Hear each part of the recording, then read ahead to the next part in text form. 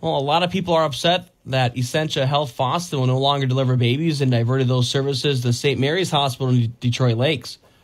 During a public hearing Tuesday night, City Administrator Cassie Heidi uh, said uh, May 15, 2023 memo indicated labor and delivery services would resume in Fosston, and she asked officials, officials what changed and when.